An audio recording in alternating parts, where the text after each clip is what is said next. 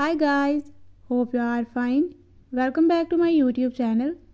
In my today's video, I'll be sharing with you how to disable Google Assistant in your device Vivo Y78T.